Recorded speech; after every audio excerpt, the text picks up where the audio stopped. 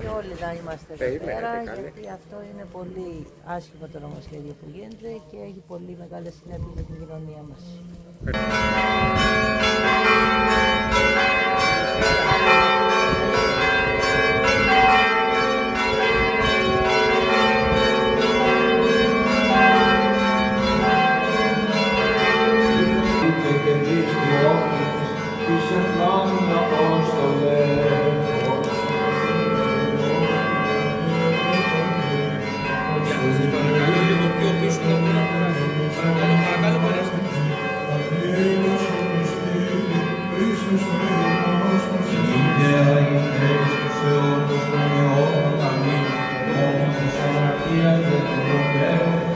Και στέλνω μου άφιος ελίνε λοιπόν, όρης σωτηρίας Θεόν μελός.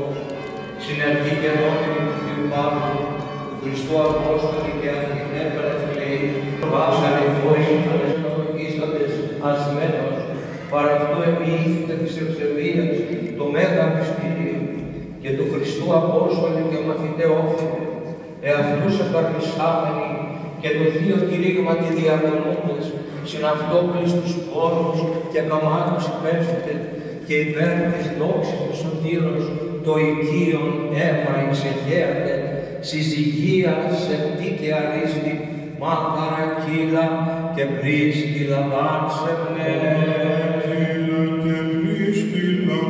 Τη